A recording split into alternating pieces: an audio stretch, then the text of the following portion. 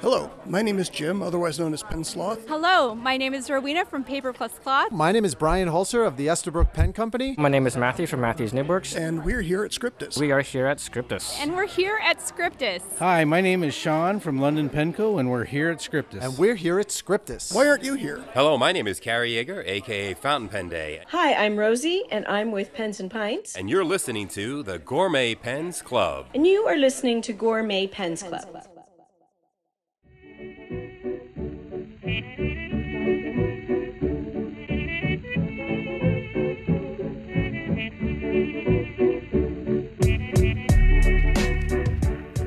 Hello, you are listening to the Gourmet Pens Club podcast. This is a collective of creators and callings that bring us together. Here are your hosts, Aziza and Candace.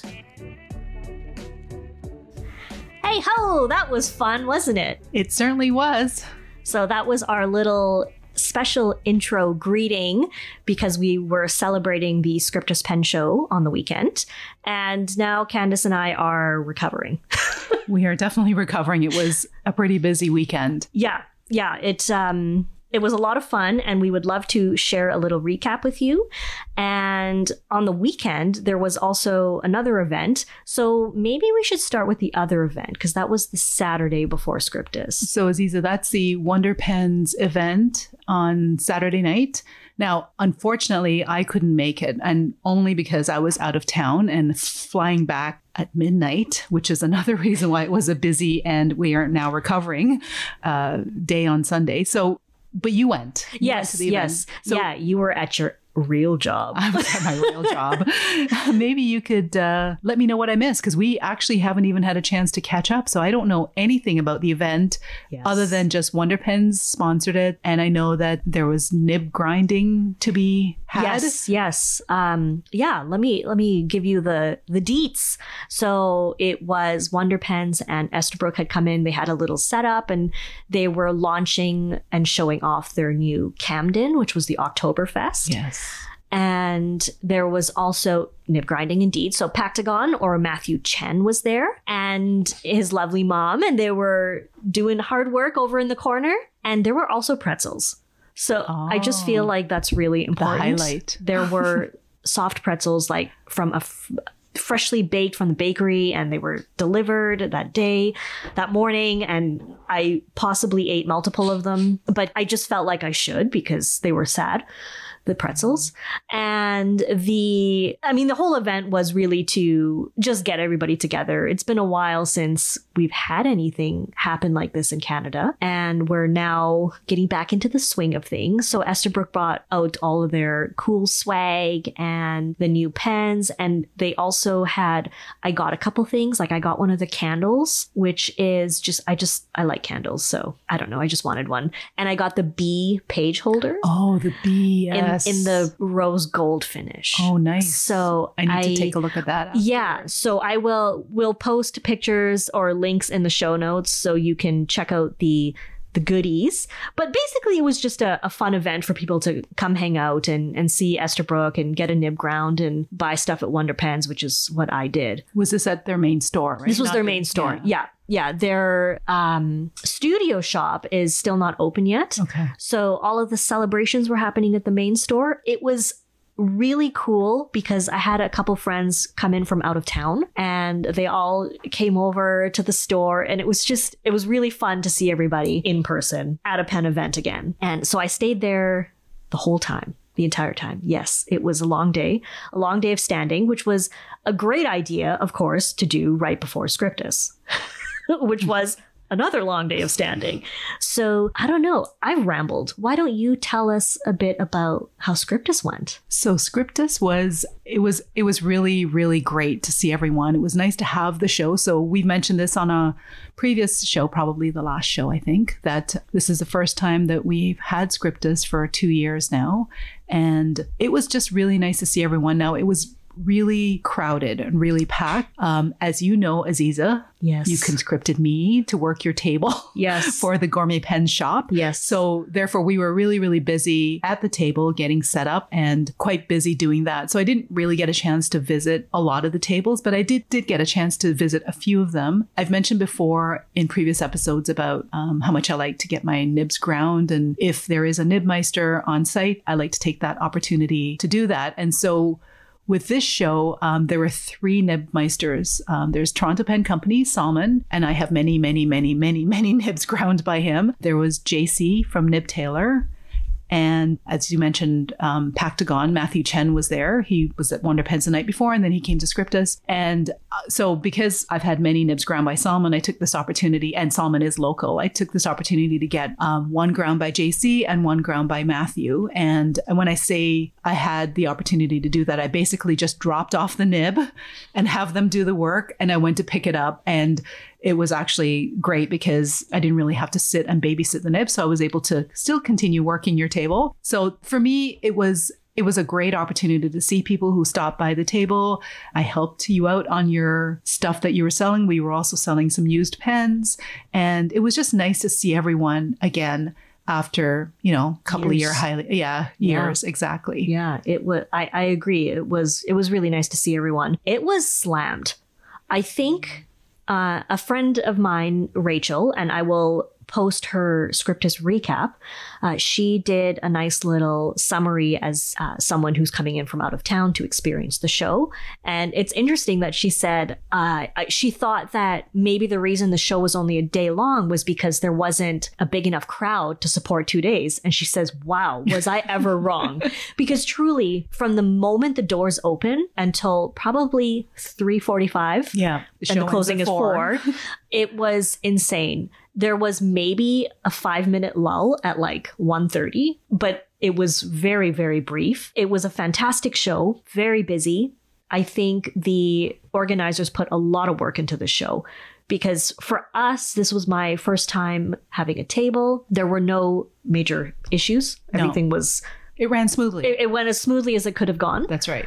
uh, truly it was a lovely experience and i really i went home and there was an after event at hemingway's i couldn't handle it i just went home and i literally just passed out I know. I think there were four of us at the tables, uh, at your tables, Yeah. and I think all four of us had the same reaction. Right? We wanted Yes. to go out. the The will was there to go and get together afterwards, Yeah. but we were just exhausted and decided to just kind of turn off the social media, turn off our phones, and just i just want to give a huge thank you to you candace to our producer chi and simmer who was working the table because you guys worked your buns off and I could not have done that without you. Uh, truly, it would have been a disaster without you. And you guys made everything run really well. So, a huge thank you. And I don't like feelings, so we're going to move on from okay. We're gonna move on. You're welcome. that.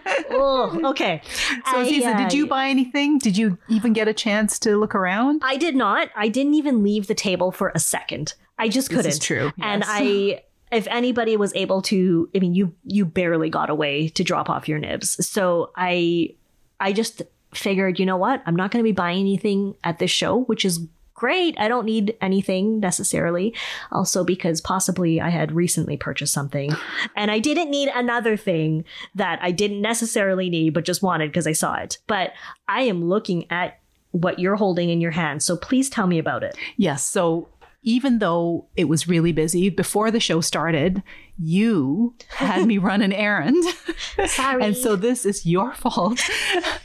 you had me run some blanks over to the very end of the room um, where Butterknife was and London Pen Company. They sat side by side. And of course, I had to say hi, right? Because that would be rude. So I said hi to Chris and hi to Sean. And I cast my eyes over their wares, so to speak.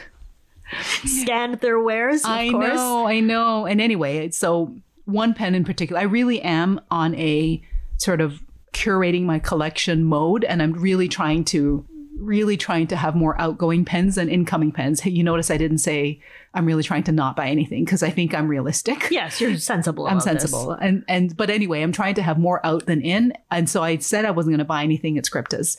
But I did see this one pen, and I think we can show it and show pictures in the show notes. It's Yes. from London Pen Company, and it's from an Omas material, and it's Bologna di Magica. I don't know how to pronounce that, but that's Close that's enough. that's what it is.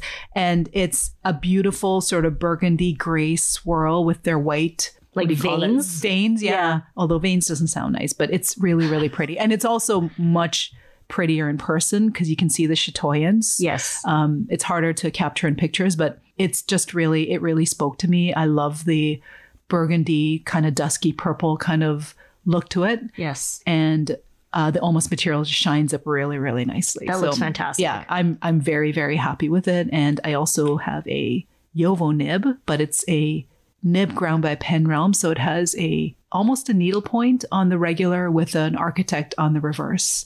And I really like it. That I know you don't like needle points. That sounds like mine and Chi's nightmare nib because That's she hates architects. And That's right. I And hate, you needle, points.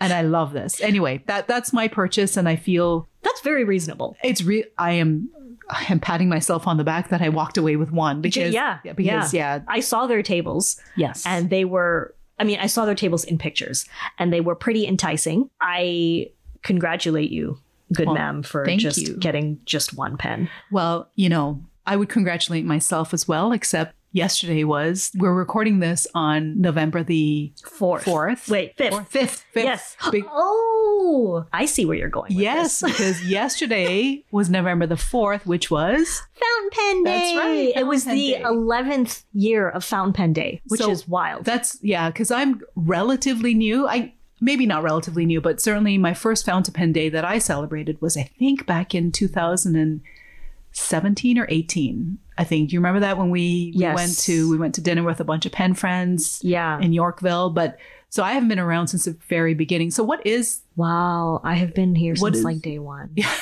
that that makes me feel real ancient your your Um, you're OG when it comes to. I'm to OG. uh, well, what is Fountain Pen Day? It was it was started by Mr. Fountain Pen Day, who is actually Cary, and Cary now works at Kenro Industries. And the whole idea behind it was to have a day for us to celebrate pens, be, fountain pens, because he, I actually recently learned this. He said, "Hey, there's a pencil day. Why is there not a fountain pen day?" well Right? exactly yeah and and he just he just came up with this idea he has put in a lot of his time effort uh, his own funds like he's the one who gets all the bookmarks uh, he got the logo done by studio temporary every year he makes tons of fountain pen day swag and now it is a huge event in the community a lot of retailers have big sales or you know any sale it, anything is exciting. And it is really just a day to honor your pens, celebrate pens. If you feel like buying something, you can. You don't have to. Would you believe I didn't buy anything yesterday? That's quite impressive. So that's Scriptus, no purchase. Yeah. And I'm Fountain so Pen Day. I don't think so. so good. I think you got delivery of something recently, didn't you? Um, maybe, maybe. Okay. But did you do anything? Like, did you celebrate? Like, what did you? Were you working? I, I was working. I was working at my real job, unfortunately, but oh. I did I did celebrate by I finished doing I've been working on a little this little doodle that has been taking me a while to do. So maybe we can put it in the show notes. But Yeah. it was one of these that took a lot of detail and I was really happy with the way it was turning out. And I was just really enjoying using as indeed the day should be about, right? Yeah. Celebrating your pens. I was using my Mr. Cypress Rodden pen, the all Rodden pen Oh yes. that you almost made me sell. I did. I just was trying to help you curate, man. and um, I'm so glad I didn't because for a number of reasons, but it looks so darn good in pictures. Fair enough. And so I um I did spend part of the day finishing that, but yes, I did end up purchasing a couple of things. Oh, see, hello, listeners. I was not privy to this information at the She time. She was not. So I I'm now learning about this. Yes, you are. So the first thing that I did buy, I was on the Pen Addict Slack, and someone had a bunch of things for sale, and it's just just a nib, just a yo nib, and it's a um what I like to call the naked nibs, right, with no scrolling or anything. I I very much enjoy that, unless it's a logo that I intentionally put. You there. like them naked. I like them naked. Yes, the crap pen people say. Right? Um, yeah. So I, I and it, somebody was just selling that uh, cursive italic, which I actually don't have very many cursive italics in my collection, and it was for a really good price. It was actually for the price of the nib. You get the grind. Nibs don't really count anyway. They don't count. Okay, They don't count. I like to. I, that's. I will subscribe to that So, theory. yes, Yes. nibs don't really count. So I, I bought that, but I also did purchase the the Platinum President pen that I showed you Yes. earlier in the week. Yes. So this is a pen that is a collaboration between Platinum and I think it's Fountain Pen Lounge. I have no idea who or what Fountain Pen Lounge is, but I just know We'll link to it. Yeah, we'll link to it. And it's their fourth anniversary, and it's the pen that they did in collaboration with Platinum, and it's the new president um, fountain pen, and it's um, really pretty, in my opinion. A dusky, I, I guess I have a palette, right? it's a, a it's a dusky purple, almost like a matte finish. It looks like, and it does look like there's some translucency to it. Has a gold nib, 18 karat gold nib, and uh, the stamping on the nib looks like it's a bottle of ink or something. It just it's a nice little it's That's a so nice cute. yeah it is, but and it's a coarse nib, Okay, done. right? That's okay. It's a I'll coarse nib, it. so I am going to. I'll probably get a grind on it at some point, but that was my big purchase I'll for allow Fountain it. Pen Day. Congratulations. Thank you. That sounds very delightful. Very I look forward to fondling it. Yes, Well, okay. I guess I will talk about my pen. I right, because you did, even though you didn't purchase anything yesterday or during Scriptus. I took delivery of it on the Friday before Scriptus, and because I was so frantically packing, I basically glanced at it, acknowledged that, oh, yes, this is the pen, and put it away. And the pen is actually the Conid regular size bulk filler. This is the Antwerpen version, which means it has the red Juma cap and end. And remember, we had a discussion about Conid? Well, the reason I really, one of the reasons I really like them is because of the ink capacity. But second is the nib options. And, and what I mean by that is I put a Mont Blanc 146 music nib on this pen. I think I'm going to have to put a picture so that you can all enjoy it with me. That's stunning. So, yeah, so the music nib is from my Blanc 146. So, Aziza, I am using your Conid, which, as you know, I'm probably not. I'm not a huge fan. It's not that That's they're okay. awful. It's just because I don't need that much ink. But this pen is really comfortable. First of all, Yes. um, and even though it's red, red is not my color. Yep, yep. It's it's quite a striking. I the is this titanium? Yes. The trim is titanium. It's beautiful with the red. I liked it because also on the clip, the little Antwerpen, it's the That's their logo, that's the little logo It's for, really nice. for Pen World, and it's really cute. and it's a diamond, isn't And it? it, yes, I know. I which makes sense, Belgium. Yeah, but this um, it's really beautiful. But I mean, the nib is fabulous. Yeah, right? of course, So this is, of course, Oh my god, this is fantastic. But I also like that it's very comfortable. super comfy. And actually, with this nib on here, you'll be going through the sink in no time. exactly, that's Yeah. part of the reason I did it. Yeah. I mean, I have a lot of stacked nibs and ink guzzlers, so I mean, it for me, it's very fitting, which is why I like the opuses. But Do you do you have stack nibs that take? Is this a Bock? this is a Bock. Yeah. Do you have stack nibs that take Bock? I do not, but I can I pop them into the other collars, Okay. into the Jowo collar. No, Bock collar. The Bock collar. Yes, the, Jowo to the Bock. Flexible nib factory Bock Yes. collar. Yeah. And I also I, I typically use my stack nibs in my Jowo custom pens. Yeah. Oh my god. Oh, right. Speaking of, Wow. Okay, this goes speaking of into So I totally babble bombed Yovo, and now we're going to babble bomb a new word. And if you are new here, a babble bomb is where we have some sweet innocent soul try to pronounce a word that we have selected that is pen related. Yeah. And today's word is related to the nib that I have on my Conid because it comes from my Mont Blanc 146, and the word is M E I S T E R S T U with an umlaut C K. So we're gonna have our producer's husband pronounce this word. Let's enjoy. I need you to read this and tell me what how you pronounce it and what language you think it is. Meistertuck. Uh, German, obviously. I think Meister. Yeah, Okay, yeah, all right. So what's your can you say it one more time? Meistertuck. Meistertuck. Meister took. Meister took. Thank you so much, Kevin, for doing this for us. It's much appreciated, the, the babble bombing.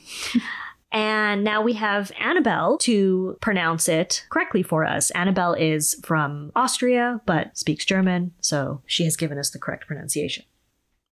Hi, this is Annabelle helping out again, and today's word translates into masterpiece. Here's how to say it Meisterstück. Meisterstück. Meisterstück. It sounds so lovely when she says it. I know she has such a lovely, like angelic tilt. And that's Lilt. and that's Annabelle Hillier from Yes. the Nibmeister from Appelboom. Yes, that is correct. And from Opus Cineris, thank you, Annabelle. We are much obliged. I uh, I enjoyed this one. I really like this word. I like Meisterstück, and sometimes I try to say it angrily. Meisterstück. Meisterstück. Yeah. Is that right? Yeah. I'm terrible. I'm terrible with languages. I people laugh at me all the, when I say people. I mean my daughter. Well, that's fair. Me, You forget who your daughter is sometimes. So Yes. wait, Time for another story. we should tell that story. No. It's so hilarious. You absolutely should. Okay, okay. So my daughter, who is Art by TMB on Instagram, she dabbles in doing artwork. She will do sketching and painting on her iPad, and very proud of her. She's taught she taught herself how to do all of this. And you and I were just messaging each other about everything in my defense. Yes, it was a very random Mostly- conversation. Mostly pen related stuff, which is usually the way it goes. And then you said, uh, I said, "Oh, by the way, I commissioned Taylor to do an art piece of my friend's dog who recently died." And Candace says, I have no idea who Taylor is. Who's Like- Taylor? "She's like, who's Taylor?" and then she says, "She's thinking." So she says to me, "Like the the pens, I know like Tailored Pen Company." Because we like, sometimes will refer we don't refer to Taylor Pen Company as TPC or any we Yes, just, you just call we them just tailored. say tailored. Yeah. Uh, but no, Candace thought, And I thought for some reason you were saying something about commissioning them to put your friend's dog on a nib because which is fair. I did that once, right? Not my dog, but a paw print that but I, literally, she thought, "Who's Taylor?" I did. I anyway, we this is probably funnier to us, but it was just the way it happened was hilarious. And then the best part is she told Taylor about this, and Taylor was like, "I am the one child." yes, I do. I only One have of the one. child. It's well, one of one plus three dogs in my Yeah, that's- life. it's true. Now it's two dogs, It's but true. still, it's Yeah. I do run through the names of my dogs before I hit Taylor. So Anyway, I really enjoyed the story, and it just it, I completely lost it when you told me this because the pen company came up first before your daughter, mm-hmm. one of one. right. So anyway, um, where are we here? So we were talking about your purchases because you were so good, apparently, I was very good. at Scriptus Don't not be buying jealous. anything and Yes. then not buying anything Fountain Pen Day. And Yeah. then lo and behold, you produced a Conid. yeah, that's true, but it was prior, Yes. Okay. That's fair. It was That's- prior. That's, fair. and they're kind of my thing. And then you, so you got delivery of that Conid on the Friday before Scriptus, but That's also you also revealed to me after the fact. on the same day, I received a wonderful, stunning gift. This is a River City Pen Company Westwood model. My favorite model from River I- City. I agree. I agree. Mine too. And it is in the Lavender Sunset uh, Operex opal, which is a like a magenta that sheens into green and blue turquoise. It's it's wild. It's really stunning. I first when you see the blank, it looks much more purple, right? So more It does. more blue purple as opposed to red purple. Yes, yes. And uh, we will put a picture in show notes because I have posted it on my Instagram. It is slightly translucent, so you can see your nib through the cap just ever so slightly. And Rich did a fantastic job on it, obviously. It is really comfortable. I haven't inked it yet because I don't know what to ink it with. And also because there was Scriptus and I had to survive Scriptus before I could treat myself to inking it. And then since surviving Scriptus, I've basically not really survived because I'm still recovering. This is really stunning. so I have my paws on it now, Yeah, and you may not get it back. it's, yeah, it might happen. I actually think I have one of these on on commission. It's really stunning. I would ink it with. I have Monteverde purple, which is this exact color. I think. I need something more exciting. Okay. I think I need a purple with green sheen. Ooh. Yeah. So, dear sweet listeners, if you have a suggestion for a purple with green sheen, please hit me up. We are gourmetpensclub at gmail.com, just so you know. I, I would love to hear your suggestion. Anyway, okay, so Candace just tells me she's hungry. So that's all you get for today's episode. I hope it has been absolutely delightful and has thrilled you and tickled your pickle. What? Did you just come up with that? No, I just tickle your pickle. I don't know. Isn't that a statement? Isn't that a isn't that a thing? I I don't know. Okay, well, in my world, Who are it's your a thing. friends? So yeah, who are my friends? There we go. Well, my friends are Candace, who is Inks and Anchors. I'm Inks and Anchors on Instagram. And thank you to our fantastic producer, Chi, who is truly, truly outstanding. And I'm Aziza, aka Gourmet Pens. You can find me at Gourmet Pens, Gourmet Pen Shop, and we are the Gourmet Pens Club podcast, where you can reach out to us for suggestions, for babble bombs, or topics, or And you can now find us on Apple Podcasts. Oh, sizzling hot. That's what we are. We are now on Apple Podcasts as well as Google and other things that I don't know podcasts very well, but we're now on Apple Podcasts. So yay! Now we're going to go eat and celebrate surviving and play with pens. So take care, everybody. Thank you for listening. Bye.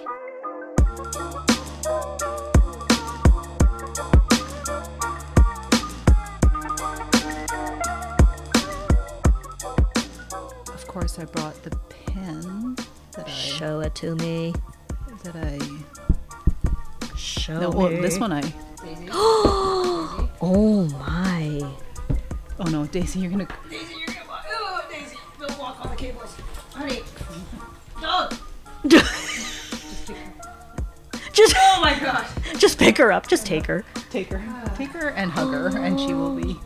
Oh. Well, this is delightful, Candace. Isn't that nice? I. Daisy, go with oh, shit. That is yeah. Go with me. Daisy. Daisy. Daisy. What is it called? Jellyfish glow? J- glow jelly, glow, glow, glow jelly, That's the material I should put, a, put on my silver. glow jelly. Okay, hang on. Hang Oh, on. man. Yeah, let's bring pull out the uh, tailored.